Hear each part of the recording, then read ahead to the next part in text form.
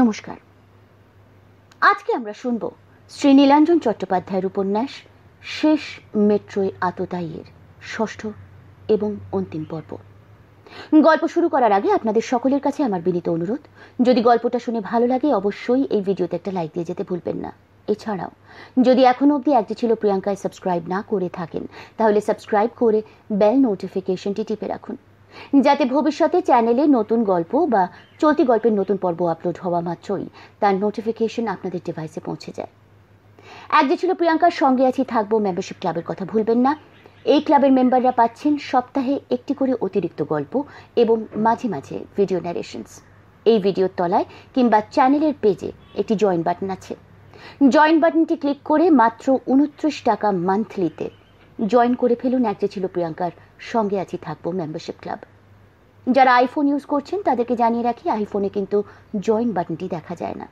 কাজেই আপনারা যদি জয়েন করতে ইন্টারেস্টেড থাকেন, তাহলে যে কোনো অ্যান্ড্রয়েড ডিভাইস থেকে বা ল্যাপটপ বা ডেস্কটপ কম্পিউটার থেকে করতে পারেন। এখনও অবধি আমরা শুনলাম যে এক্স্যাক্টলি কি যোগাযোগ আছে শেষ মেট্রোর তিনটি সিরিয়াল খুন এবং আমাদের গল্পের নায়িকা শকুন্তলার মধ্যে। কীভাবে শকুন্তলার বাবা মা মর্মান্তিক পরিস্থিতিতে এই পৃথিবী ছেড়েছেন? কীভাবে শকুন্তলার পরিবারটা ছাড়খার হয়ে গেছে? কীভাবে শকুন্তলা একটা ক্রিমিনাল চক্রের মধ্যে পড়েছে? এবং সেখান থেকেই গাইডেন্স পেয়ে সে শুরু করে দিয়েছে নিজের প্রতিশোধ নেবার খেলাটা। মেন তিনজন লোককে খুন করার আগে পুলিশকে ডিস্ট্র্যাক্ট করার জন্য এমনি এমনি তিনটে খুন করেছে সে। আর্সেনিকের সিরিঞ্জ লাগিয়ে। পরিস্থিতি খুবই ভয়ঙ্কর। আর এটা আমাদের গল্পের শেষ পর্ব। কাজেই অবভিয়াসলি আমরা জানতে চলেছি যে কীভাবে রাজীব, সাগর, তিলোত্তমা এবং মৈনাকবাবু আলটিমেটলি পৌঁছবেন শকুন্তলা অবধি বা তার গ্যাংয়ের বস ভিকি অবধি। দেখা যাক। এক্স্যাক্টলি কীভাবে সলভ হয় এই রহস্যটা? শুরু করছি শেষ মেট্রোয় আততায়ীর ষষ্ঠ এবং অন্তিম পর্ব। শকুন্তলার বিছানাতেই সেই রাতে শুয়ে পড়েছিল মনালি। ঘুমিয়ে পড়েছিল দুজনে। প্রথমে ঘুম ভাঙে শকুন্তলারই। উঠে দেখে ঘড়িতে বেলা আটটা। সে ডেকে তোলে মনালিকে। মনালির রোজকার অভ্যেস ঘুম থেকে উঠেই তার মোবাইল ফোন চেক করা। এ আমার ফোনে চারটে মিসড কল কার? জিমির। এত জরুরি কি হলো কে জানে? জিমিকে ফোন করল মনালি। জানতে পারল যে ভিকি তিনজনকেই ডেকে পাঠিয়েছে তার অফিস কাম বাড়িতে, বেলা দশটার মধ্যে। খুব তাড়াতাড়ি দুজনে তৈরি হয়ে নিল তারপর ভিকির অফিসে। পরিচ্ছন্ন শীততাপ নিয়ন্ত্রিত সভাঘর, চারজন। টেবিলের মাথায় চেয়ারে বসে আছে ভিকি। ওরা তিনজন উন্মুখ। কি বার্তা? লাস্ট মেট্রোতে পরপর দুটো খুনে লালবাজারে হইচই পড়ে গেছে। গোপন খবর এসেছে আমার কাছে। পুলিশ সিদ্ধান্ত নিতে চলেছে সকাল থেকে রাত পর্যন্ত। মানে মেট্রো চলা শুরু থেকে শেষ মেট্রো পর্যন্ত প্রত্যেক যাত্রীর বডি সার্চ করা হবে। বডি সার্চ বডি সার্চ যেমন এয়ারপোর্টে নিরাপত্তা রক্ষীরা করে থাকে। প্রত্যেক স্টেশনে মহিলাদের জন্য আলাদা এনক্লোজার থাকবে সেখানে মহিলা পুলিশরা তাহলে আমি কি করব?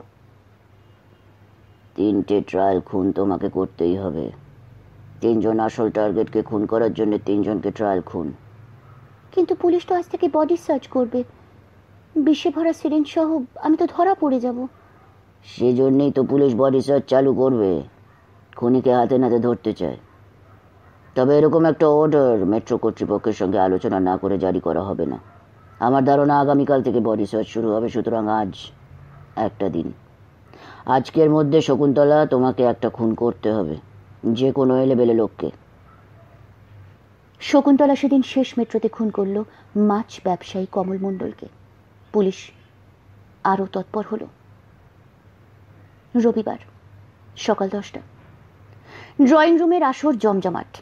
এসিপি রাজীব মিত্র উপস্থিত আছেন মৈনাক সেনও। পাঠকের হয়তো মনে পড়বে, এই কাহিনীর প্রথম দিকে যখন রাতের শেষ মেট্রোয় পরপর তিনটি অদ্ভুত ধরনের খুন হলো, তখন তিনি তার ছাত্র assistant commissioner of police Rajiv মিত্রকে phone করে বলেছিলেন, রাজীব এই পরপর এলোমেলো খুনগুলোকে হালকাভাবে নেওয়া উচিত নয়। আমি এর মধ্যে একটা ছক বা প্যাটার্ন লক্ষ্য করছি। এই রহস্যের সমাধান তোমাকে করতেই হবে। রাজীব তখন জানিয়েছিল সব ডিসিডিডি সাহেব এই তিনটে খুনের রহস্য সমাধানের ব্যাপারে খুবই ব্যস্ত হয়ে পড়েছেন।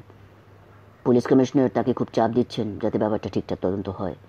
কারণ মুখ্যমন্ত্রী, যিনি আবার স্বরাষ্ট্রমন্ত্রীও, কমিশনার সাহেবের সঙ্গে এই ব্যাপার নিয়ে দীর্ঘ বৈঠক করেছেন। সংবাদ মাধ্যম এসবের পিছনে চীনে যোগের মতো লেগেই আছে, স্যার। ইতিমধ্যে আবার একটা কাণ্ড হয়েছে। কিসের কাণ্ড? মেট্রো রেলওয়ে কর্তৃপক্ষ, পুলিশ কমিশনার ও ডিসিডিডির সঙ্গে মিটিং করেছেন। তাদের বক্তব্য হচ্ছে, শেষ মেট্রোতে যে সিরিয়াল কিলিং শুরু হয়েছে, তাতে সাধারণ যাত্রীরা খুব শঙ্কিত হয়ে পড়েছে। বিশেষত শেষ মেট্রোতে আজকাল প্যাসেঞ্জার প্রায় হচ্ছেই না। অবিলম্বে এই পাগল খুনিকে যদি না ধরা যায়, তাহলে মেট্রো রেলের ব্যবসা নাকি লাটে উঠবে। ঠিক সেই সময়। অর্থাৎ মাসখানেক আগে প্রাইভেট গোয়েন্দা সাগর রায় দারুণ পরামর্শ দিয়েছিল পুলিশকে। তার মত ছিল যে, যেহেতু তিনটে খুনি হয়েছে বিষে ভরা সিরিঞ্জ আক্রান্তের শরীরে বিধিয়ে, অতএব খুব সহজেই এই খুন বন্ধ করা যায়। কীভাবে? না মেট্রোর যাত্রীদের যদি বডি সার্চ শুরু হয়, বিমানবন্দরে যেমন বডি সার্চ করা হয়, তেমনি পুরুষ, মহিলা সব ধরনের যাত্রীরই যদি প্রত্যেক স্টেশনে বডি সার্চ শুরু করে দেওয়া হয়, তাহলে কেউ যদি বিষ ভর্তি সহ ধরা পড়ে, তাহলেই তো কে খুনি সেটা স্পষ্ট হয়ে যাবে। এই সামান্য কমন সেন্স পুলিশের মাথায় আসেনি? এবং আশ্চর্যের ব্যাপার, প্রতি মেট্রো স্টেশনে সকাল থেকে রাত পর্যন্ত মানে শেষ মেট্রোর সময় পর্যন্ত, যেই মাত্র পুরুষ কনস্টেবল ও মহিলা কনস্টেবলদের সাহায্যে শরীর অনুসন্ধান শুরু হলো। সঙ্গে সঙ্গেই খুনেরও আর কোনো খবর নেই। আজ প্রায় এক মাস হতে চলল শেষ মেট্রো কেন? কোনো সময়ের মেট্রোতেই কোনো খুনের দুঃসংবাদ নেই। তবে এটাও সত্যি যে সিরিঞ্জ সহ কেউ ধরাও পড়েনি। অর্থাৎ তিনটে খুন যে বা যারা করেছে, সে বা তারা এখনও অধরাই থেকে গেছে। কি মনে হয়েছে সাগরের? রাজীব বলতে পারবে না। আজ রবিবার হঠাৎ সে নিজের বাড়িতে ডেকেছে তাকে ও মৈনাক সেনকে। অনাদির প্রাতরাসের ঘটা আজ ভালোই ছিল। আলুর পরোটা, ডিমের টেবিল, জল ভরা তালশাঁস সন্দেশ এবং শেষে সুগন্ধি চা। খাওয়া পর্ব সকলের শেষ। এবার আলোচনা শুরু হবে। তিলোত্তমা যথারীতি বসে আছে সাগরের ঠিক পাশটিতে একটা সিঙ্গেল সোফায় একবার গলা খাঁকারি দিয়ে সাগর ক্যাজুয়ালি শুরু করল। তারপর? প্রফেসর সেন, কেমন আছেন? এই চলছে আর কি। বইপত্রের সঙ্গে? আগে হ্যাঁ। আমি একা মানুষ, পড়াশোনা করেই আমার কাটবে। আচ্ছা প্রফেসর, আপনাকে একটা প্রশ্ন করি? করুন না। এই যে কলকাতা শহরে এরকম এক অদ্ভুত ব্যাপার ঘটলো। মানে শেষ মেট্রোতে পরপর তিনজন শ্রমজীবী মানুষ বিষের প্রয়োগে খুন হলো। তারপর বডি সার্চ করায় আবার থেমেও গেল। সত্যি কি থেমে গেল? মানে আপনি এটাকে কি মনে করেন? এই ভয়ঙ্কর ঘটনার এখানে ইতি? বলা খুব শক্ত, বুঝলেন? যে তিনটে খুন হয়ে গেছে, তার মধ্যে আমি একটা ক্যালকুলেটেড প্যাটার্ন লক্ষ্য করেছি। অনেকটা বহু বছর আগে সেই স্টোনম্যানের ঘটনার মতো। কিন্তু আচ্ছা রাজি, বলো স্বাগত। এই খুনগুলোর মধ্যে খুনির কোনো মোটিভ কি তুমি পারসিভ করেছ? আনফর্চুনেটলি না। যারা খুন হয়েছে তাদের একজন ছিল সাদামাটা, একজন যুবক। বাঁশডনির এক মুদির দোকানে সামান্য হেল্পারের কাজ করত। দ্বিতীয়জন তো আরও গরিব শ্রেণির, মুটিয়া মজদুর। আর তৃতীয়জন গড়িয়া মার্কেটের একজন মাছ ব্যবসায়ী। যারা খুন হয়েছে, তাদের ব্যাপারে আমরা অনেক খোঁজখবরও নিয়েছি। তাদের স্ত্রীদের ও অন্যান্য আত্মীয়দের অনেকবার নানাভাবে জেরাও করেছি, কিন্তু কেউ বলেনি এই তিনজনের কোনো শত্রু ছিল বা সেরকম কিছু।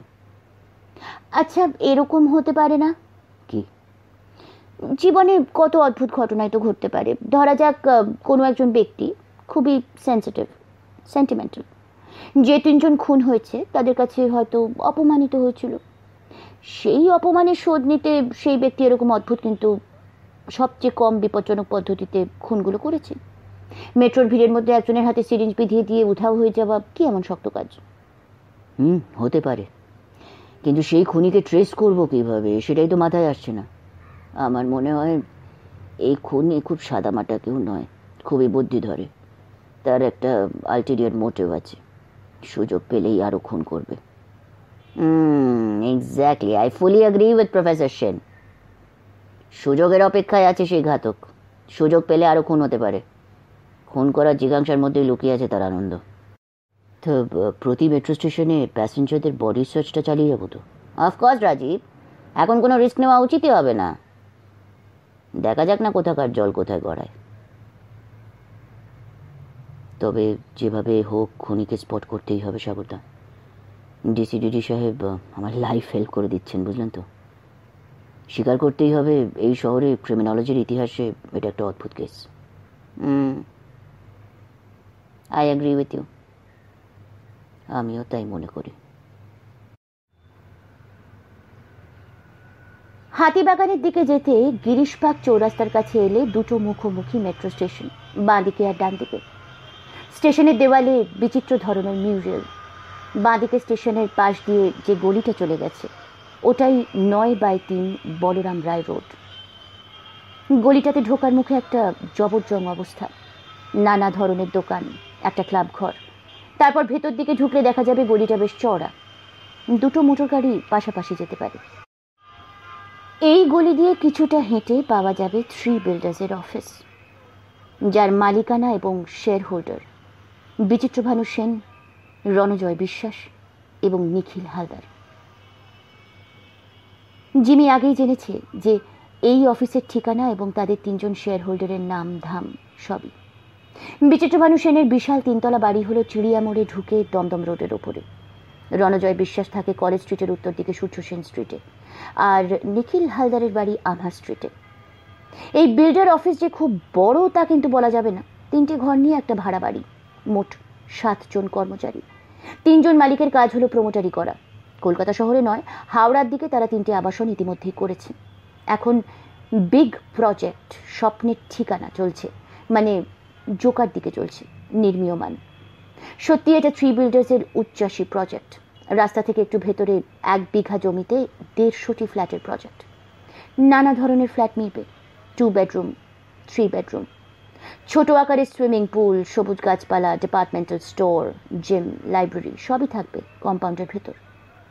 স্বপ্নের ঠিকানার ফ্লেক্স, বিজ্ঞাপনে টালিগঞ্জ থেকে শুরু করে বেহালা এবং জোকা সর্বোচ্চ দেখা যাচ্ছে। টিভিতেও অ্যাড দেওয়া হয়। একজন বিখ্যাত ফুটবলার টিভির পর্দায় এসে স্বপ্নের ঠিকানার গুণগান করেন আধ মিনিট। এই প্রজেক্টের জন্য থ্রি বিল্ডার্সের অফিসে কাস্টমারদের ভিড়ভাড়টা ভালোই হচ্ছে। অনেকেই তিনজন মালিকের থেকে প্রজেক্টের ব্যাপারে নানা খুঁটিনাটি জেনে নিয়ে অ্যাপ্লিকেশন ফর্ম নিয়ে যাচ্ছেন। আবেদনপত্র জমাও পড়ছে দু ধরনের ফ্ল্যাটের জন্যেই। আজ শনিবার। আগামীকাল অফিসের ছুটি। অফিসের কর্মচারীদের ছুটি হয়ে গেছে বিকেল চারটের সময়। বিচিত্র ভানু রণজয় এবং নিখিল এখনও অফিসে আছেন। মৌতাত চলছে। তিনজনের।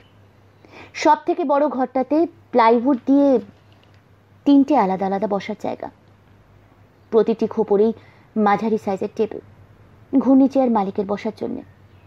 টেবিলের ওপ্রান্তে গদি আঁটা স্টিলের চেয়ার ভিজিটার্সদের জন্য। এছাড়াও আছে একটা লম্বা নরম সোফা, সব খোপরেই একই ব্যবস্থা। মৌতারটা বসেছে বিচিত্র ভানির অফিস ঘরে, মদের বোতল, যে সে ব্র্যান্ড নয়, একেবারে স্কচ দুটো বড় প্লেটে মাটন চাপ আর চিকেন কাবাব অনেকক্ষণ চলছে আসর রসের কথাবার্তা। আর পেগের পর পেগ প্লেটের খাবার সহ উড়ে যাচ্ছিল। নিখিল হঠাৎ বলল অমল চৌধুরীর কথা মনে পড়ে তোমাদের? বালুরঘাটের ব্যাংকের ক্যাশিয়ার তো। যার দৌলতে ছাড়া আজ আমরা জীবনে এত উঁচুতে উঠতে পেরেছি। তো এখন সেই অধ্যপকা ইডিয়েটটার নাম নিচ্ছ কেন? হঠাৎ মনে পড়ে গেল। ফ্যামিলিটাই লোকটার রুইন্ড হয়ে গেল। আরে বেশ হয়েছে। কে হয়েছে? তোর পোঁদে কি বিবেকের কৃমি কামড়াচ্ছে নাকি বে? সালা বেল্লিক ছুঁচো একটা। এ নামে আমরা কাউকে চিনি না। এখন চলো, মদ শেষ চাটো সাবার বিচিত্র ভানুর ইনোভা গাড়ি বাইরে অপেক্ষমান। নিখিল আজ গাড়ি আনেনি। দুজনে একই দিকে থাকে, তাই রণজয় তাদের নামিয়ে দিয়ে চলে যাবে। মদের ফাঁকা বোতল, খাবারের প্লেটগুলো টেবিলে পড়েই রইল অফিসের দারোয়ান হিন্দুস্তানি। মোড়ে ভুজিয়াওয়ালার দোকানে আড্ডা দিচ্ছে। সাহেবরা বেরিয়ে গেলেই সে চলে আসবে। অফিস পরিষ্কার করে সদর দরজায় তালা দিয়ে চলে যাবে। ঈষৎ টলতে টলতে বিচিত্রভানু হাত তুলে টাটা জানিয়ে নিজের গাড়িতে উঠলেন।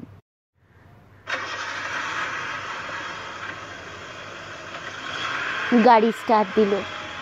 তিনি যাবেন হাতিবাগানের দিকে। রণজয় ও নিখিল যাবে সেন্ট্রাল অ্যাভিনিউয়ের দিকে।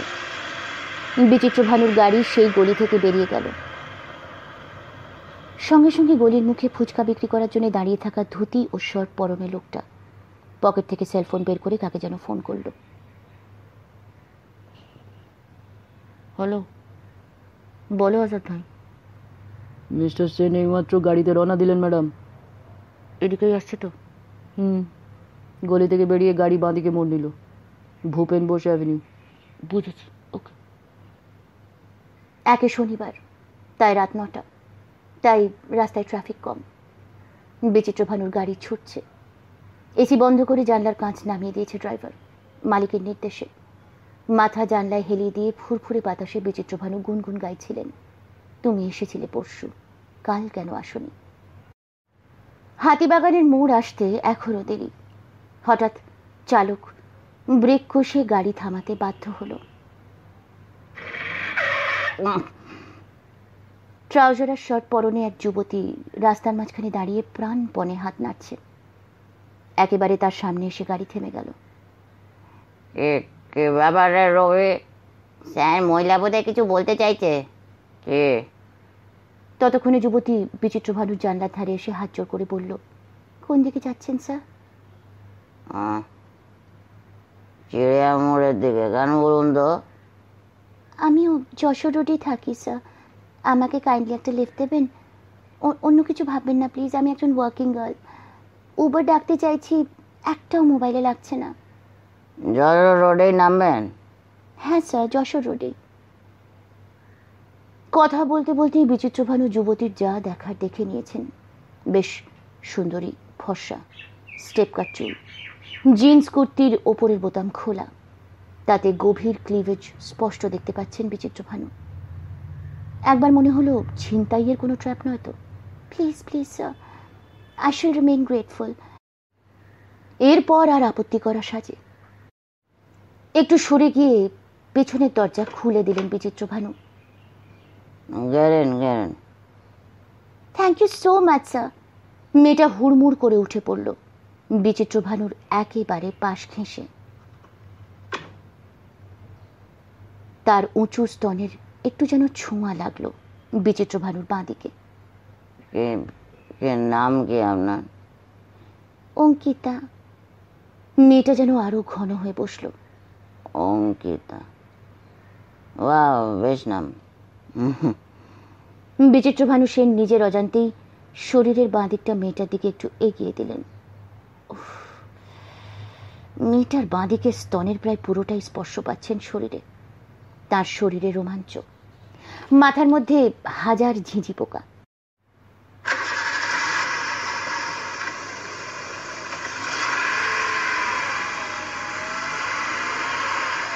ইতিমধ্যে গাড়ি আবার চলতে শুরু করেছে।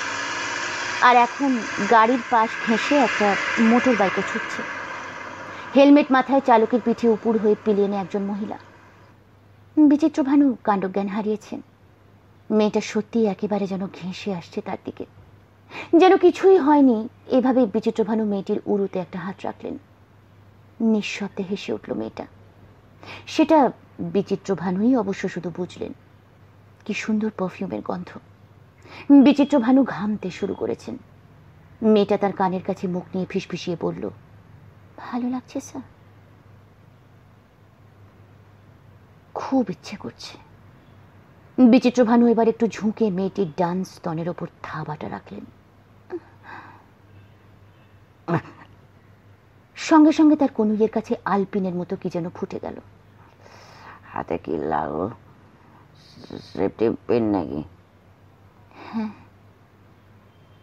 অমল চৌধুরীর সেফটি পিন রে তুমি? হ্যাঁ? কে তুমি? বিচিত্র ভানু গাড়ির মধ্যে লাফিয়ে উঠতে চাইলেন কিন্তু পারলেন না। তুমি তুমি তুমি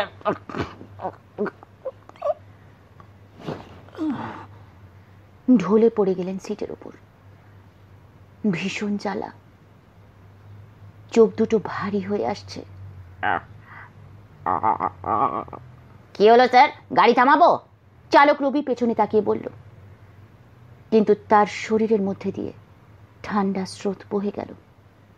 মালিক একপাশে কাত হয়ে পড়ে আছেন। গাড়িতে উঠেছিল যে মেয়েটা, তার হাতে উদ্যত রিভলভার। স্টপ দ্য কা স্টপ ইট রাইট নাও। আপনি স্টপ ইট! গাড়ি অবশ্য তাকে থামাতেই হতো। কারণ দশ গজ দূরে পথ রোধ করে দাঁড়িয়ে আছে সেই মোটর বাইক। মোটর বাইকের চালকও হাত নেড়ে রবিকে গাড়ি থামাতে বলছে। হতভম্ব রবি পিঠে রিভলভারের চাপ নিয়ে ভয়ে কাঁপতে থাকা রবি গাড়ি থামাতে বাধ্য হলো। পেছনের দরজা খুলে মেয়েটি ছুটে গিয়ে পেলিয়ানে আগে থেকে বসে থাকা মেয়েটির পেছনে বসে পড়ল।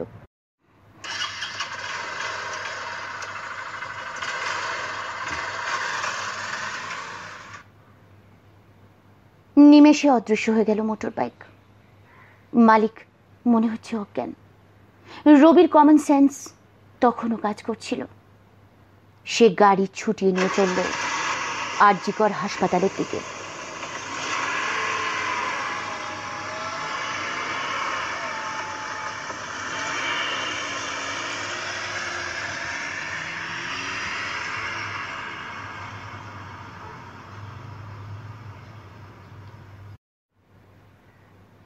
মনালির সঙ্গে বেশ কিছুক্ষণ গল্প করার পর শকুন্তলা নিজের ঘরে ঢুকে দরজা বন্ধ করে দিল।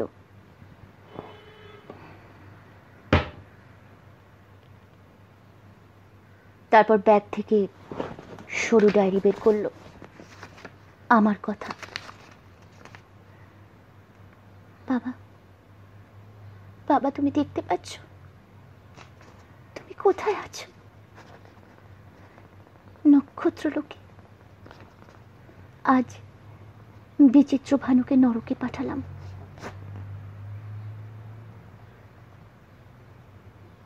সবাই উপস্থিত। সাগরের বাড়িতে দোতলার বৈঠকখানায় সবাই মিলিত হয়েছে আবার। এখন সকাল দশটা। ডিটেকটিভ আর ডিটেকটিভ গিন্নি তো আছেই। এছাড়া প্রফেসর মৈনাক সেনকে সাগর ফোন করে আমন্ত্রণ জানিয়েছে। আর আছে ACP detective department Rajiv Mitra. আর দুজন নতুন আগন্তুক। রণজয় বিশ্বাস আর নিখিল হালদার। পাঠকেরা তাদের চেনেন। সাগর আর তিলোত্তমার কাছে তারা পরিচিত নন। অনাদির দৌলতে সাগরের বাড়িতে প্রাতরাস প্রতি সকালেই প্রায় লোভনীয় এবং বৈচিত্র্যময়। এত রকম রান্না জানে অনাদি যে হপ্তার সাত দিনে সে সাত রকম খাবার পরিবেশন করে। মেনুতে আজ ছিল হিঙের কচুরি, কষা আলুর দম, অনাদির হাতে তৈরি রসবড়া ও সিমুইয়ের পায়েস। চেটেপুটে সবার খাবার পালা শেষ। রণজয় ও নিখিল ছাড়া। দুজনকেই বেশ চিন্তিত দেখাচ্ছিল। দুজনেরই মুখ শুকনো। সেজন্যই বোধহয় ভদ্রভাবে খাবার প্রত্যাখ্যান করে তারা শুধু চা নিলেন। চায়ের কাপে সম্মিলিত চুমুক চলছে। সাগর শুরু করল।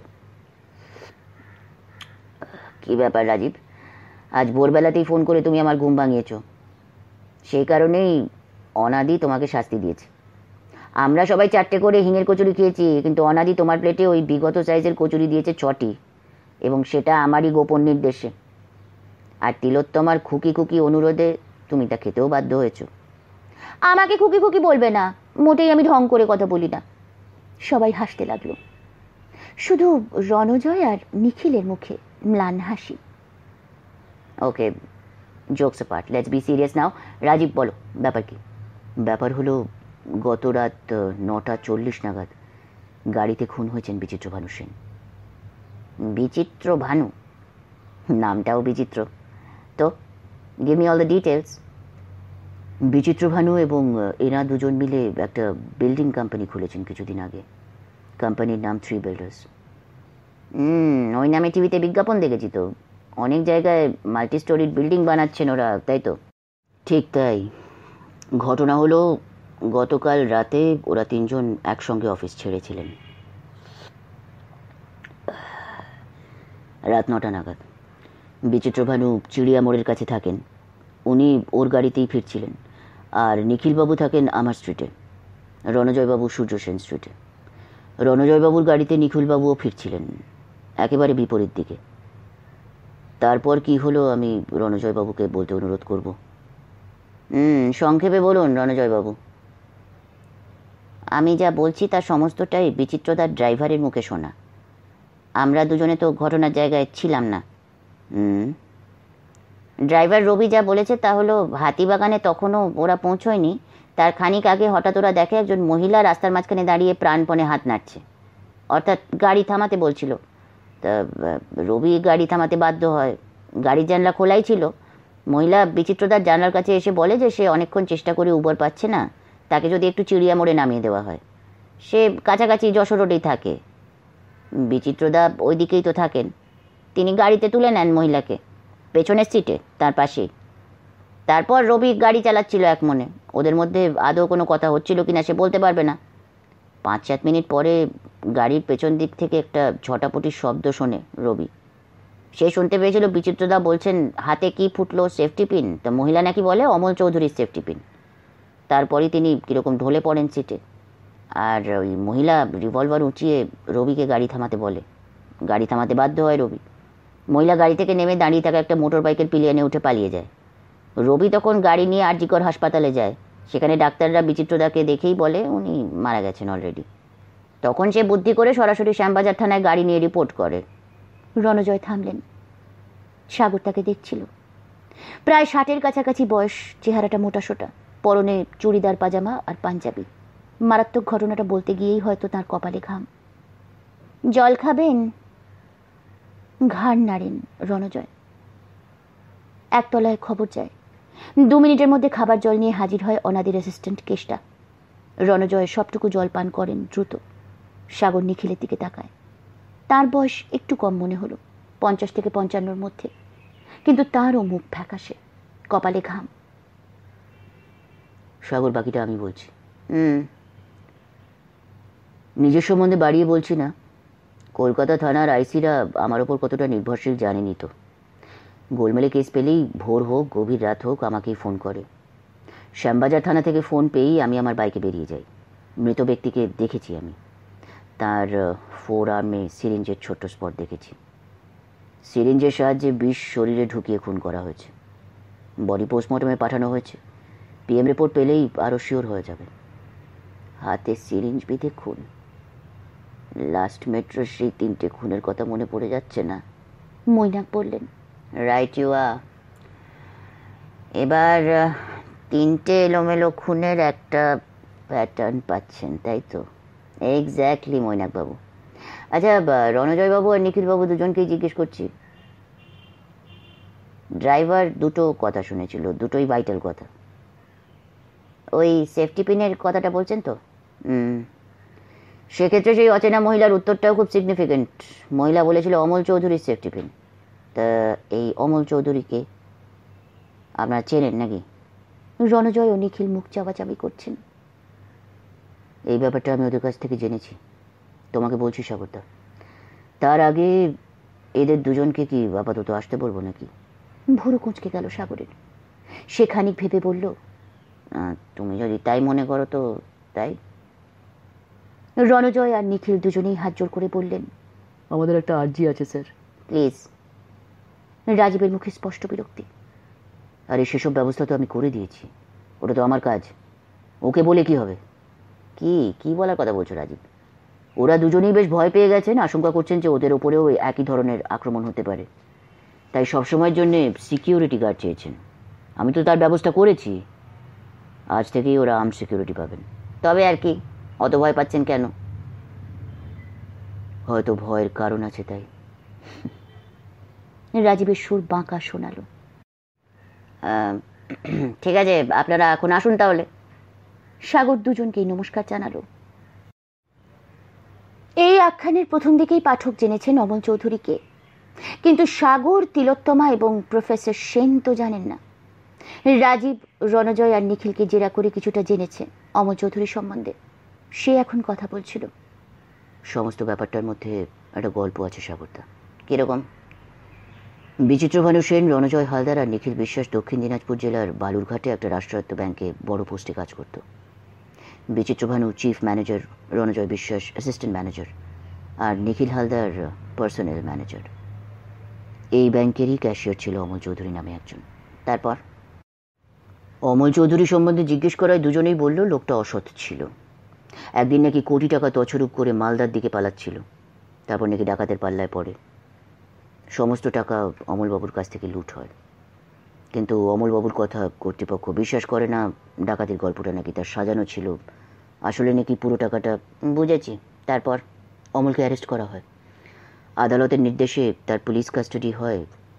কাস্টাডিতেই নাকি লোকটা সুইসাইড করে। তারপর এরা খুব একটা কিছু বলতে পারেননি। ব্যাংকের হেভি বদনাম হয়ে যায়। লোকে টাকা সেভিংস থেকে তুলে নিতে থাকে। তখন এরা তিনজন নাকি ভলেন্টারি রিটায়ারমেন্ট নিয়ে কলকাতায় চলে আসেন। কতদিনকার ঘটনা এটা?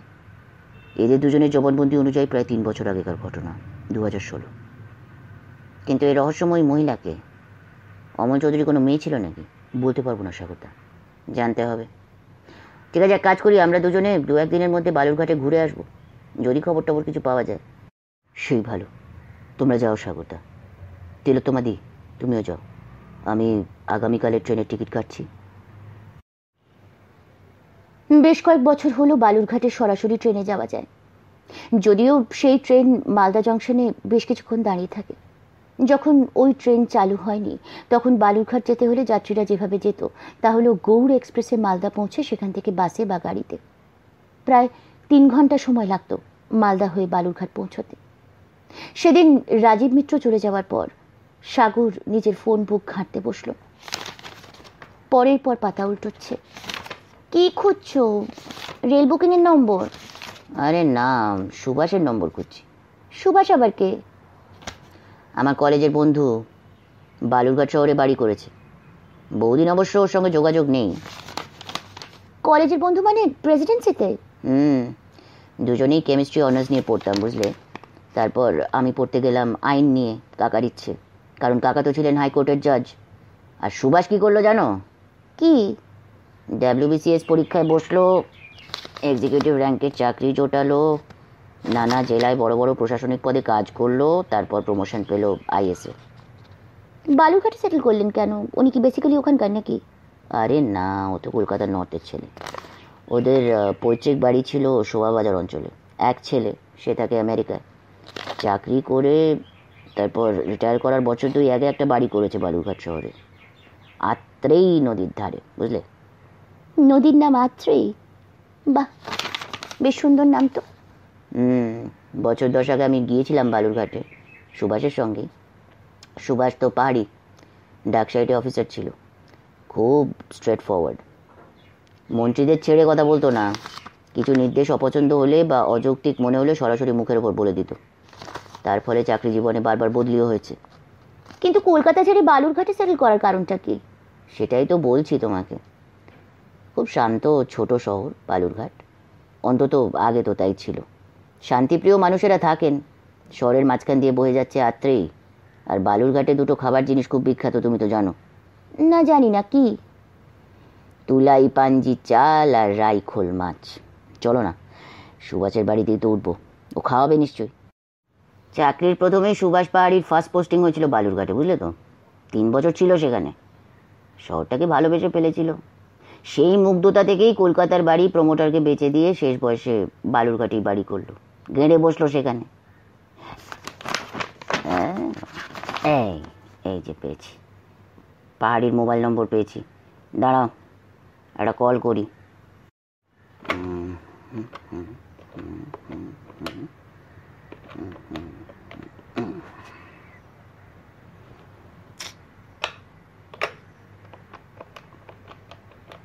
বার তিনিক চেষ্টা করার পর পাওয়া গেল সুভাষ পাহাড়ির নম্বর।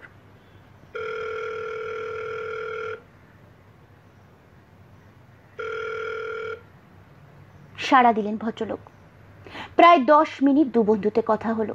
অনেক পুরনো কথা, হাসি ঠাট্টা। ঠিক হলো, সাগররা দুজনে মালদা যাবে গৌড় এক্সপ্রেসে। সেখান থেকে সুভাষ পাহাড়ি তাদের নিজের গাড়িতে নিয়ে যাবেন বালুরঘাটে, নিজের বাড়িতে। মালদাতে ওরা পৌঁছলো পরের দিন ভোর সাতটা নাগাদ। রাজীব টিকিট করে দিয়েছিল এসি ফার্স্ট ক্লাসে। ফেরার টিকিটও তাই। সুভাষবাবুর ওখানে দুদিন থেকে তারপর রাতে গৌড় এক্সপ্রেসেই মালদা থেকে শিয়ালদা ফেরা। স্টেশনে নামতেই সুভাষবাবু এগিয়ে গেলেন ওদের রিসিভ করতে। বন্ধুকে জড়িয়ে ধরলেন। তারপর তিলোত্তমাকে বললেন ওয়েলকাম ম্যাডাম নমস্কার জানালো তিলোত্তমা। ভদ্রলোকের বয়স পঁয়ষট্টি হবে। মেদহীন লম্বা চেহারা চোখে হাই পাওয়ার চশমা মাথা জুড়ে চকচকে টাক। মালদায় গঙ্গার উপর সেতু পেরিয়ে গাড়ি পড়ল হাইওয়েতে। রায়গঞ্জের দিকে না গিয়ে গঙ্গারামপুর হয়ে বালুরঘাট। যেতে যেতে সুভাষবাবু বললেন সাগর তুই আই মিন তোরা দুজনেই তো এখন রেপুটেড প্রাইভেট গোয়েন্দা। আমি এত দূর বসেও সবই খোঁজ রাখি। তোদের কীর্তিকলাপের ওপর দু একটা বইও পড়েছি। বেড়ে আছিস। ওই নেই কাজ তো খই ভাজ বুঝলি তো। তো প্রবাদ আরও একটা আছে। ঢেকি স্বর্গে গিয়েই ধান বানে। তো তোদের হঠাৎ বালুরঘাট আসার সিদ্ধান্তটা কি শুধুই বেড়াতে আসার জন্যে নাকি ইকড়ি মিকড়ি চামচিকড়ি কিছু আছে? ঠিকই ধরেছিস ইকড়ি মিকড়ি কিছু আছে। কি? তোর কাছে একটা ভাইটাল ইনফরমেশন নিতে এসেছি। আমার কাছে? কি ব্যাপার রে? পরে বলছি আগে তোর বাড়িতে পৌঁছোই। বাড়িটা কেমন একটু দেখি। তুলাবাঞ্জি চালের ভাত আর রাইকোল মাছের ঝাল খাই। বুঝেছি। মুচকি হেসে পাহাড়ি বললেন নিজেই গাড়ি চালাচ্ছিলেন। তিলোত্তমাকে উদ্দেশ্য করে বললেন কি ম্যাডাম এখানেও ক্যারাটের ঝাড়পিট চলবে নাকি? আপনি তো আবার ব্ল্যাক বেল্ট না না সেরকম কিছু নয় দাদা। তিলোত্তমা হেসে জানালো বালুরঘাটে পৌঁছে সুভাষবাবুর ছিমছাম দোতলা বাড়িতে উঠে প্রাতরাশ সেরে নেওয়া হলো। তারপর স্নান। সুভাষবাবুর স্ত্রী যে খুবই অতিথি বৎসল এবং একজন দক্ষ রাঁধুনি, তার পরিচয় পাওয়া গেল মধ্যাহ্ন ভোজনে বসে। জুন মাস, কলকাতায় বৃষ্টির কোনো দেখা নেই, গরমে ত্রাহি ত্রাহি অবস্থা মানুষের। কিন্তু এই শহরের আবহাওয়া মনোরম। গরমের ভাব প্রায় নেই বললেই চলে। বেশ ভালো লাগছিল। খাওয়া দাওয়ার পর দিবানিদ্রার প্রশ্নই ওঠে না। গল্প শুরু হলো। সাগর জিজ্ঞেস করল আচ্ছা সুভাষ তোদের এখানে কোনো ব্যাংকে অমল চৌধুরী নামে কোনো ক্যাশিয়ারের ব্যাপারে কিছু শুনেছিস? অমল চৌধুরী এপিসোড সে এই শহরে কে না জানে, খুব স্যাড ব্যাপার। ভদ্রলোককে সম্ভবত মিথ্যে কেসে ফাঁসানো হয়েছিল সংসারটাই ভেসে গেল, বুঝলি তো লোকটার। একটা মেয়ে ছিল ব্রিলিয়ান্ট বাবা মাকে হারিয়ে সেও এই শহর ছেড়েছিল। এখন তো শুনেছি কলকাতায় আছে। সুভাষ, আরও বিশদভাবে বলতে লাগলেন অমল চৌধুরীর কাহিনী। শীতাতপ নিয়ন্ত্রিত ঝকঝকে প্রশস্ত ঘর। ভিকি আজ ডেকে পাঠিয়েছে আবার তিনজনকে। কি বলবে কে জানে? সে আন্ডারওয়ার্ল্ডের যেমন অন্যতম একজন মধ্যমণি, বলা যায় শের আফগান তেমনি প্রশাসনিক মহলে বিশেষজ্ঞ পুলিশ অফিসারদের অনেক গোপন খবরই তার কাছে চলে আসে। যুগে যুগে মির্জাফরের উপস্থিতি তো থাকবেই। প্রশাসনে মির্জাফর যেমন আছে, অন্য ক্ষেত্রেও তেমন আছে। ভিকির খবরের সোর্স হলো সেই সব মির্জাফররা ভিকি বসে আছে চেয়ারে পাশে হুইল চেয়ার। তার মুখে চিন্তা ও উদ্বেগের ছাপ। কি বলবে মা আর কতজনের উপর রিভেঞ্জ নেওয়া বাকি আছে তোমার? দুজন। যা করার তাড়াতাড়ি করতে হবে। তোমার পেছনে এখন কারা লেগে আছে জানো? কারা? গোয়েন্দা দপ্তরের সব থেকে দক্ষ অফিসার রাজীব মিত্র। অপরাধীরা তার নাম শুনলে কাঁপে। আর তাকে সাহায্য করছে দুজন প্রাইভেট গোয়েন্দা সাগর রায় আর তিলোত্তমা রায়। লালবাজারের সব রকম মদত এরা পায়। কারণ কঠিন কেস এলেই এদের তলব হয়। অন্যদিনের মতো আজও আজাদি কফি এবং স্ন্যাক্স বিতরণ করল সকলকে। কফির কাপে দীর্ঘ এক চুমুক দিয়ে ভিকি শুরু করল।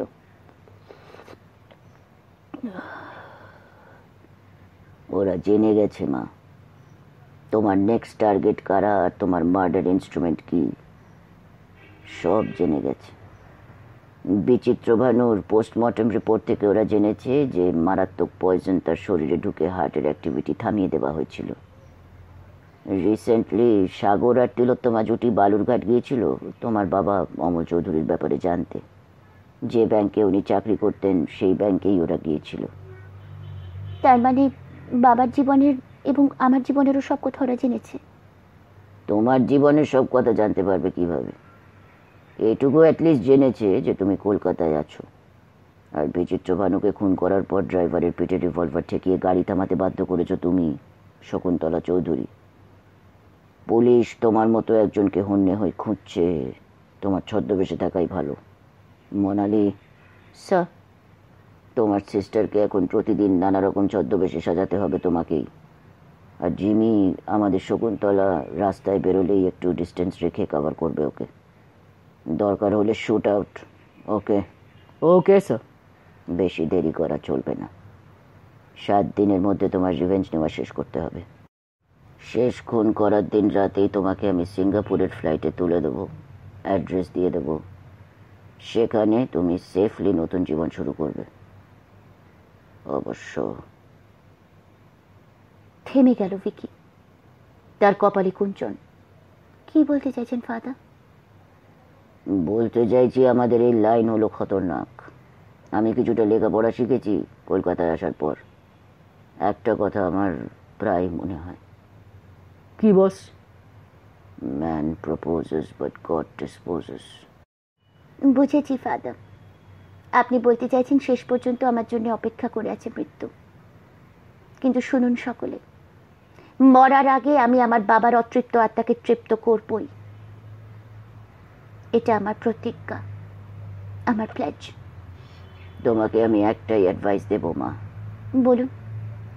রিভেঞ্জের ছক তোমাকে পাল্টাতে হবে। সিরিঞ্জ বিনিয়ে যে তুমি বাকি দুজনকে মারবে তা নাও হতে পারে। দরকার হলে তোমাকে আর্মস ব্যবহার করতে হবে। রিভলভার ব্যবহার করার ট্রেনিং তোমাকে মনালি আর জিমি ভালোই দিয়েছে। Yes father then keep all your options open তোমার নেক্সট টার্গেটকে রণজয় বিশ্বাস। লাস্ট মেট্রোর ছকটাও পাল্টাতে হবে তোমাকে মেট্রোর গেটে বডি সার্চ হলেই তুমি সিরিঞ্জ ক্যারি করছ সেটা ধরে ফেলবে পুলিশ। তারপর সিরিঞ্জের মধ্যে কী আছে সেটা ডিটেক্ট করতে আর পুলিশের কতক্ষণ লাগবে? তাহলে আপনার অ্যাডভাইস আমার advice kill that bugger at is office ওই অফিসে থ্রি বিল্ডার্সের প্রত্যেকেরই আলাদা আলাদা চেম্বার আছে। ক্লোজ ডোর চেম্বার তুমি ইন ডিসগাইজ স্লিপ পাঠিয়ে রণজর চেম্বারে ঢুকবে তারপর কীভাবে কী করবে that depends on your presence of mind okay okay ঘন্টি বাজিয়ে আজাদকে ডাকলো বিকি স্যার আজাদ তোমাকে ফুচকাওয়ালা সাজতে হবে যেটা তুমি ভালো পারো।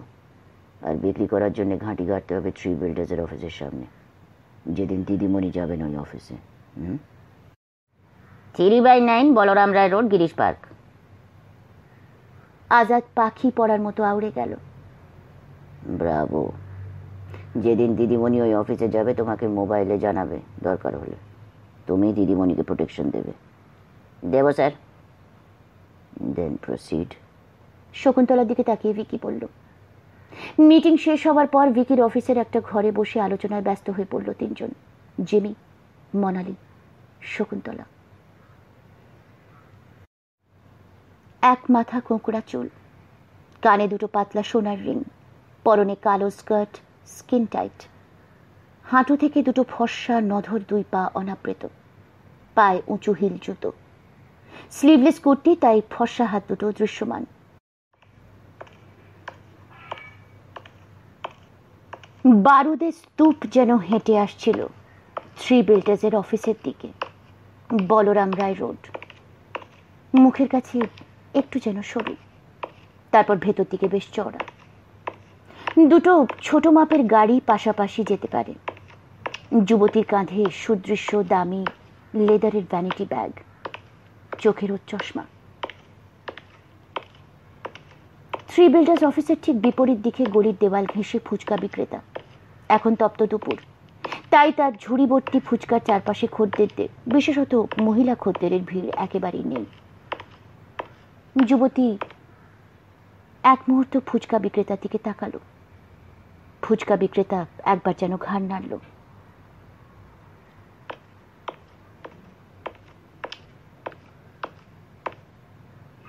অফিসের সামনে কাঁচের দরজা।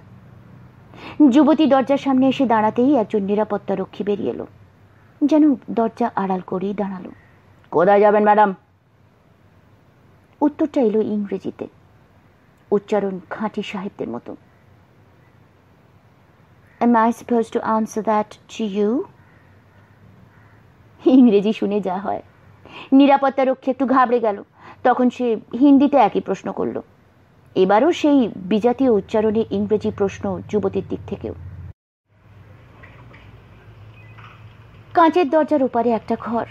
মেঝেতে দামি কার্পেট। রিসেপশনিস্ট বেশ কয়েকটা ফোন নিয়ে বসে আছে। ঘাবড়ে যাওয়া নিরাপত্তারক্ষী গলা তুলে কি যেন বলল রিসেপশনিস্টকে। সম্ভবত সে উত্তর পেল যুবতীকে এন্ট্রি দেওয়া হোক। নিরাপত্তারক্ষী পুরো দরজাটা খুলল। বেশ গদগদ স্বরে বলল ঈষৎ বাউ করে? যান ম্যাডাম। যুবতী ঢুকে গেল অফিসে। Good afternoon madam please sit down look I in little bit of a hurry নিখুঁত ইংরেজিতে বলল যুবতী ওকে আপনি কি কারোর সঙ্গে দেখা করতে চান? Any one one of the I just purchase a flat in Joka uh, preferably a 3 BHK please. Oh I see. Any card please যুবতী রোদ চশমা চোখেই ভ্যানিটি ব্যাগ খুলে একটা কার্ড বের করে দিল রিসেপশনিস্টের হাতে। পড়ল মেয়েটা। মোহিনী পটেল মুম্বাই। তাহলে বাঙালি নয়। আপনি কি মুম্বাই থেকে আসছেন madam Yeah, I landed at the airport at around 11. I need to go back. And I need to go back tonight, so I'm in a little bit of a hurry, please. দেখুন মালিক আপাতত দুজন তার মধ্যে আজ একজন আসেননি no worries যিনি আছেন তার সঙ্গে দেখা করি ওকে জাস্ট এ মিনিট রিসেপশনিস্টের থেকে বুঝে নিয়ে মোহিনী পটেল এসে হাজির হলো দোতলাতে রণজয় বিশ্বাসের চেম্বারের সামনে দরজা বন্ধ নেম প্লেট পেতলের। দরজা ঠেলবার আগে হিংস্র এক চিলতে হাসি যেন ফুটে উঠল যুবতীর ঠোঁটে।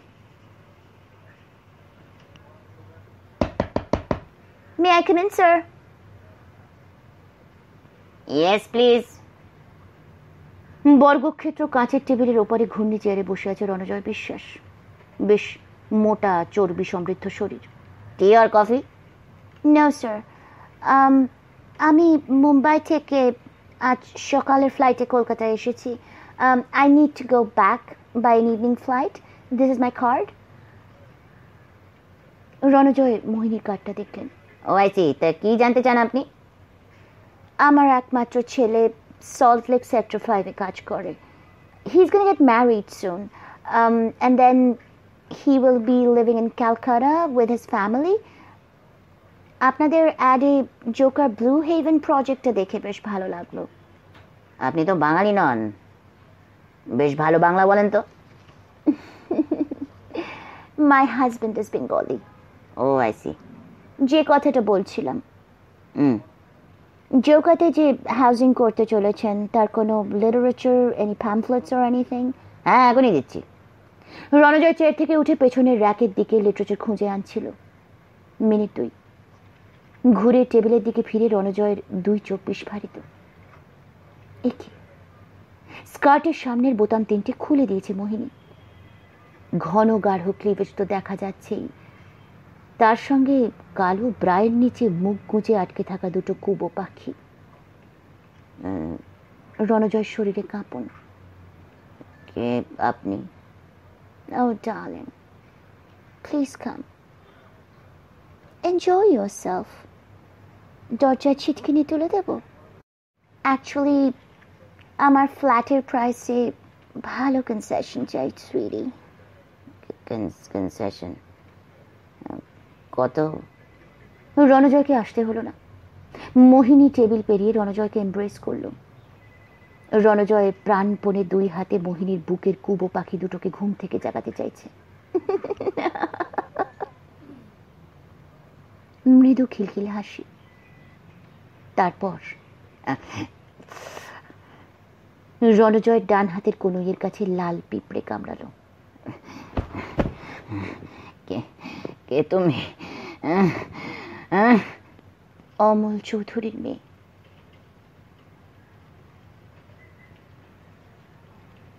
অফিসের ভেতর কাজ চলছে। কেউ কিচ্ছু বুঝলো না। আবার চোখের চশমা। পোশাক বিন্যস্ত। হাই হিলে মৃদু শব্দ তুলে। নিশ্চিন্ত শকুন্তলা রাস্তায় নামলো। লালবাজারের দোতলা। গোয়েন্দা দপ্তরের ডেপুটি কমিশনারের ঘরে হাজির রাজীব মিত্র সাগর আর Tilottama. Mister Ray unbearable unbearable commissioner অনেক কথা শোনালেন। প্রিন্ট মিডিয়া প্রতি এক মিনিট অন্তর ফোন আর ইলেকট্রনিক মিডিয়ার লোকজনে আমার অফিসে ঢুকে আমার ইন্টারভিউ নেবার চেষ্টা। উফ simply unbearable it's getting on my nerves এরকম ব্যাপার সত্যি আমাদের কলকাতায় অনেক দিন ঘটেনি। লোকে তো হইচই করবেই। মিডিয়া তো যা পাবে। এ অদ্ভুত ব্যাপার চলছে। কয়েক মাস হয়ে গেল, বলুন দেখি। প্রথমে বেঁচে বেঁচে লাস্ট মেট্রোতে তিনজন খুন, তারপর ওয়ান উইকের মধ্যে দুজন ওজনদার লোক খুন। কে এক মহিলা নাকি সিরিঞ্জে আর্সেনিক ভরে এসব খুনগুলো করছে? অথচ আমরা তার কেশাগ্র স্পর্শ করতে পারছি না, দেখুন। আরে মেট্রো কর্তৃপক্ষ গতকাল কমিশনার সাহেবকে কড়া চিঠি ছেড়েছে বলেছে একই কলকাতায় প্যাসেঞ্জারদের কাছে মেট্রোর খুব বদনাম। নানান যান্ত্রিক গোলযোগে মেট্রোতে যখন তখন। এই দরজা বন্ধ হচ্ছে না, মেট্রো দৌড়চ্ছে, যাত্রীর হাত কিংবা পা দরজাতে আটকে গেছে, যখন তখন লোডশেডিং যাত্রীদের প্রাণান্তকর অবস্থা। তার উপর আবার স্টোনম্যানের মতো সিরিঞ্জ ওম্যানের দৌরাত্ম আরে লাস্ট মেট্রোতে নোয়াপাড়া এবং কবি সুভাষ দুদিক থেকেই প্যাসেঞ্জার কম হচ্ছে। This can't go on Rajiv. Thus far and no further I tell you শুনছি এখনও নাকি ওই সিরিঞ্জ ওম্যানের একটা খুন বাকি। তারপর তার শান্তি। তো আমরা তাকে তা তো সুযোগ দেব কেন? তাকে ধরতে পারব না। আরে প্রয়োজন হলে ক্লোজ এনকাউন্টারে শুট হার অথবা bring her to the custody in handcuffs কেন পারছ না তোমরা, রাজীব? কি মিস্টার সাগর রায়? আপনারাও ফেল করে গেলেন নাকি? এবার মনে হয় আমরা অ্যারেস্ট করতে পারব তাকে স্যার আমার তো মনে হচ্ছে শি ইজ আ সাইকোমেনিয়াক আমি তা মনে করি না। যে মেয়েটি হয়তো আরও কারোর কারোর সাহায্যে খুনগুলো করে বেড়াচ্ছে তার ডেফিনেট একটা মোটিভ আছে রাজীব। মোটিভ কি? নেমেসিস নেমেসিস ডিসি ভুরু কোচকালেন। মিস্ট্রি কুইন আগাথা ক্রিস্টির এই নামে একটা ক্রাইম নভেল আছে না? আছে তো। তবে সেই গল্পের সঙ্গে এই মেয়েটির জীবনের গল্পর কোনো মিল নেই। আসলে নেমেসিস শব্দটি একটি গ্রিক শব্দ গ্রিক নাটকের শব্দ। এখন অবশ্য শব্দটা ইংরেজি অভিধানেও ঢুকে পড়েছে।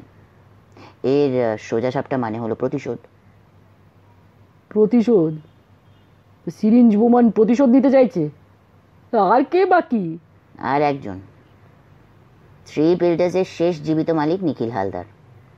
তার নেক্সট অ্যাটেম্পট নিখিল হালদারকে খুন করা। আর সেই সময়ই অন দ্য স্পট শিশু বিকট রেড হ্যান্ডেড অন্তত আমি তো এরকমই ভেবেছি। সাগর হাসল। পকেট থেকে রুমাল বের করে মুখ মুছল। But how that can be performed sir আমার তো মাথায় আসছে না কিছু। রাজীব এনি সাজেশন আমি বলছি সাহেব দেখুন এই মহিলাকে আমরা সিরিয়াল কিলার বলতেই পারি। কারণ সে খুনগুলো মানে অ্যাটলিস্ট প্রথম তিনটে খুন উইদাউট এনি অ্যাপারেন্ট মোটিভ পরপর করে গেছে। এবং তার খুন করার একটা ডেফিনেট ফরম্যাট একটা ডেফিনেট মোডাস অপারান্ডাই আছে। কীরকম? শেষ মেট্রোতে সে মার্ডারগুলো করেছে।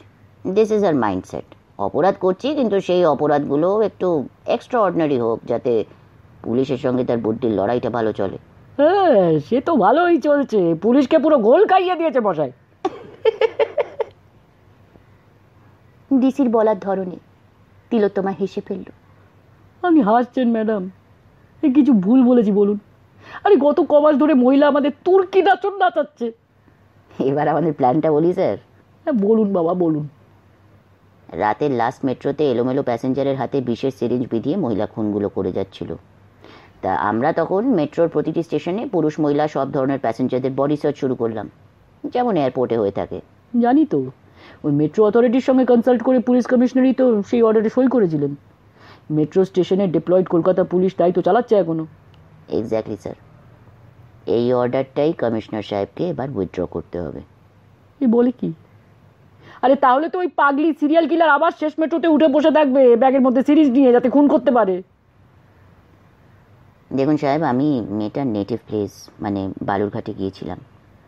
ওর জীবনে একটা ভয়ঙ্কর ট্র্যাজেডি আছে। সেসব নিয়ে বরং পরে কথা বলা যাবে। আপাতত আমরা প্যাসেঞ্জারদের বডি সার্চ বন্ধ করে একদিন টাইট পুলিশ পাহারায় নিখিল হালদারকে নিয়ে শেষ মেট্রোতে উঠব, দমদম থেকে। একটু অন্যভাবে প্রতি স্টেশনে আমরা পাবলিসিটি করব পাবলিক অ্যাড্রেস সিস্টেমের মাধ্যমে, যাতে কিলার জানতে পারে যে আমাদের সঙ্গে নিখিল হালদার আছে। ভিআইপির নাম মিস্টার নিখিল হালদার। কারণ সে প্রতিদিনই রাতের শেষ মেট্রোতে উঠে চান্স নেবে। ক্রিমিনাল সাইকোলজি আমি যতটা বুঝি মনে হয় সেরকমই ঘটবে। একটা নির্দিষ্ট কম্পার্টমেন্টে সব যাত্রী থাকবে পুলিশের ছদ্মবেশে। আমরা নিখিল হালদারকে নিয়ে সেই কামরাতে থাকব।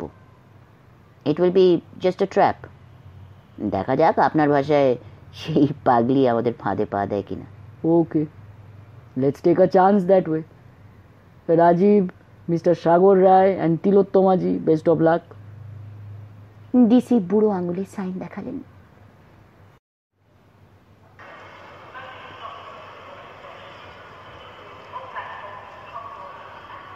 শকুন্তলা, জিমি আর মনালি। মহানায়ক উত্তম কুমার স্টেশনে দাঁড়িয়ে আছে। মাইকে বলা হচ্ছে, যাত্রী সাধারণকে অনুরোধ করা হচ্ছে, শেষ ট্রেনটি গভীর সুভাষ স্টেশনের দিকে যাবে। সেই ট্রেনের চালকের পরের কামরাটিতে আপনারা উঠবেন না, কারণ ওই কামরাতে একজন ভিআইপিকে পুলিশ প্রহরায় নিয়ে যাওয়া হচ্ছে। বাকি কামরাগুলি সংরক্ষিত নয়। মনালি ফিসফিস করে বলল, সিস্টার আমার মনে হচ্ছে এটা পুলিশের একটা ট্র্যাপ প্রথমে আজকে সব নিউজ পেপারে বড় করে বিজ্ঞাপন যে আজ থেকে সব মেট্রো স্টেশনে পুলিশের বডি সার্চ হবে না। আগের মতোই শুধু যাত্রীদের যা বিলঙ্গিংস তার একটা রুটিন চেক আপ হবে। শেষ মেট্রোতে ড্রাইভারের নেক্সট কম্পার্টমেন্টে কোন ভিআইপিকে নিয়ে যাওয়া হচ্ছে, এসব কী ব্যাপার? নিখিল হালদার, আবার কে? ভিআইপি সে নয়, সে নরকের কিট তাকে ভিআইপি সাজানো হয়েছে। আমাকে স্পট করার জন্যে। ফাঁদি হোক আর যাই হোক, আজ আমরা তিনজন ওই রিজর্ট কামরাতে উঠব। কাম হোয়াট মে আমার শেষ কাজ আজ যদি করতে পারি, আমার কপালে যা আছে তাই হোক। জলজ্যান্ত খুনি আমি, আমার বাঁচবার আর কোনো ইচ্ছে নেই। তবুও আমাদের সকলকে ট্রাই তো করতে হবে, মাচার। মাচার থেকে ভালো আর কি আছে বলো? আমরা প্রত্যেকে আর্মড আছি। দেখি পুলিশ আমাদের কি করে। এভরিওয়ান টেক কেয়ার ট্রেন আসছে thank you and good luck to both of you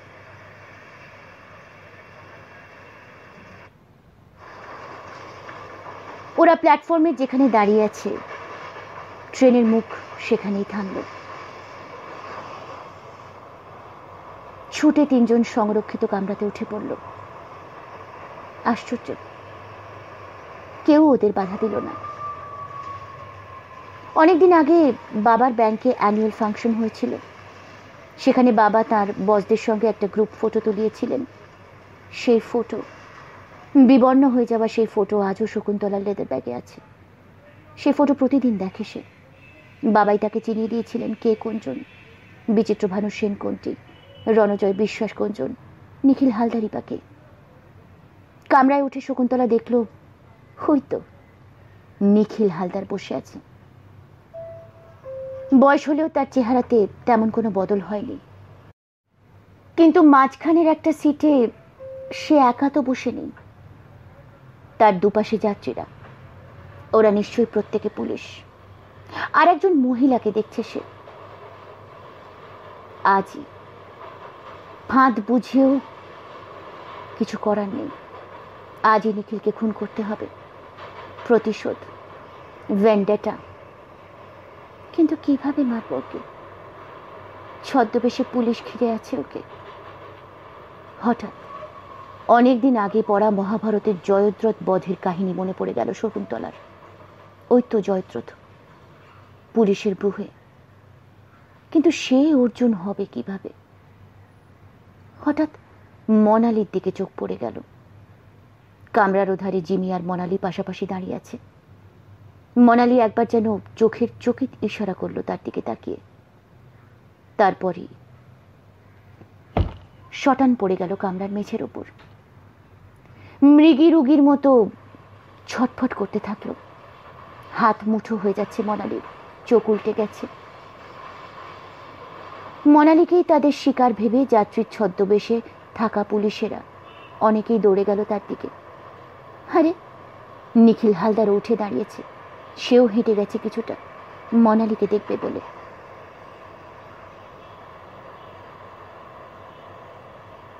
আর সুযোগ পাবে না শকুন্তলা। এই সুযোগই শেষ সুযোগ। প্রতিশোধ। বিড়বিড় করল শকুন্তলা। তারপরে বিদ্যুৎ গতিতে ভিড়ের দিকে ছুটে গিয়ে নিখিলের কাঁধে সজোরে বসিয়ে দিল বিষ ভর্তি সিরিঞ্জের ছুঁচ। মেরেছে আমাকে ওকে ধরুন ওকে ধরুন। বলতে বলতে নিখিল কলা গাছের মতন ধপ করে পড়ে গেল কামরার মেঝেতে। ট্রেন থেমে গেছে। স্টেশনে নয় ফাঁকা জায়গায়। চারপাশে ট্রেন লাইন আঁকা বাঁকা ওধারে শ্যাওলা ঢাকা পাঁচিল। প্রথমে ট্রেন থেকে লাভ দিল জিমি। সে জানে কাজ শেষ, কিন্তু কোথায় পালাবে? সতর্ক রাজীব মিত্রর রিভলভার করছে উঠল। স্টপ! স্টপ!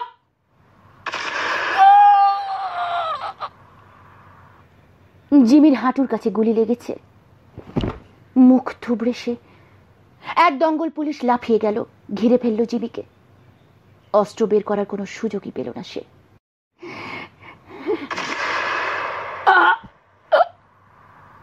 এটা মনালির লক্ষ্যভেদ রাজীবের বাঁ হাতে আর্তনাদ করে হাত চেপে ধরল রাজীব।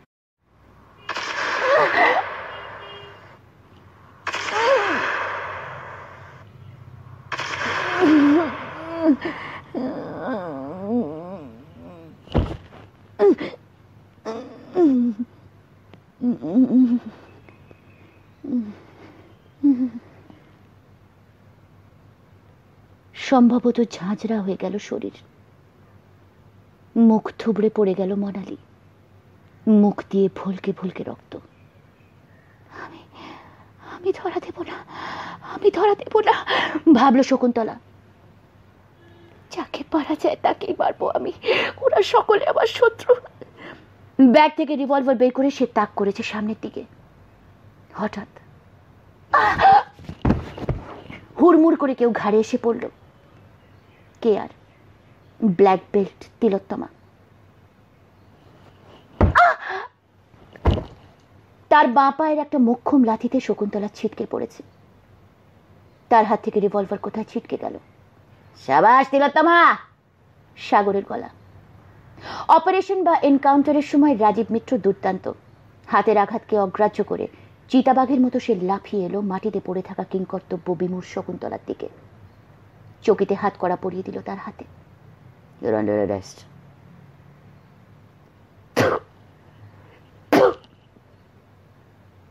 শকুন্তলা থুতু ছিটল রাজীবের মুখে। একজন মহিলা যাত্রী ছদ্মবেশে পুলিশ ঝাঁপিয়ে পড়তে যাচ্ছিল খুনির ওপর। না না না না। সাগর বাধা দিল। আমাদের সৌভাগ্য যে খুনিকে আমরা হাতে নাতে ধরতে পেরেছি। ডোন্ট স্ট্রাইকার আমাদের অনেক কিছু জানতে হবে ওর কাছ থেকে। কিচ্ছু জানতে পারবে না। যতই টর্চার হোক, আমার উপর কাস্টাডিতে মুখ খুলবো না আমি। কিছুতেই না।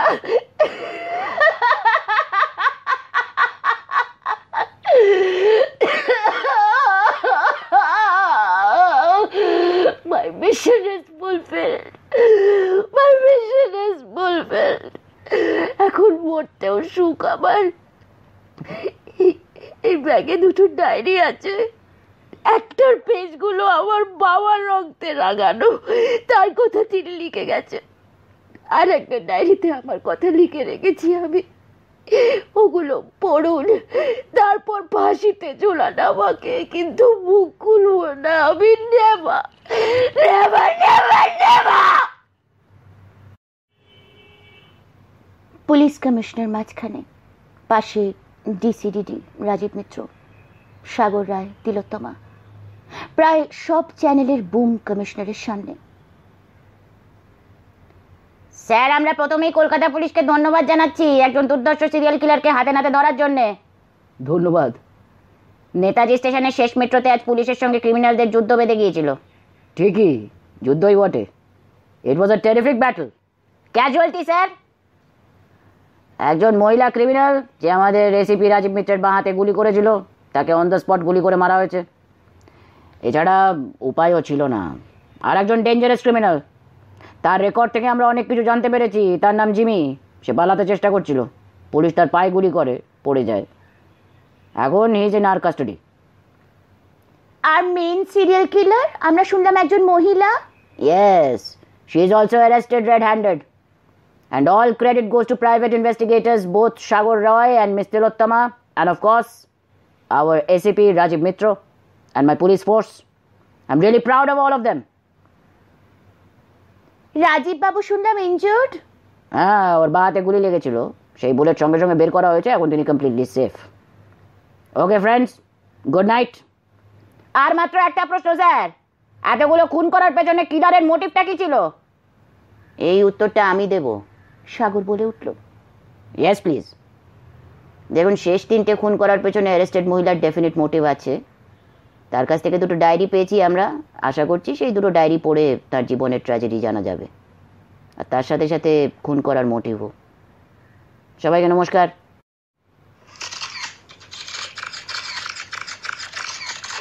শেষ হলো শ্রী নীলাঞ্জন চট্টোপাধ্যায়ের উপন্যাস শেষ মেট্রোয় আততায়ীর ষষ্ঠ এবং অন্তিম পর্ব। নমস্কার।